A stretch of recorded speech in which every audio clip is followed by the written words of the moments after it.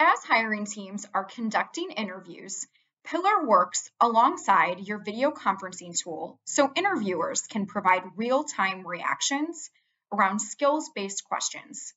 This removes the need to fill out scorecards after the interview, which are full of bias, and the reactions automatically populate into your ATS.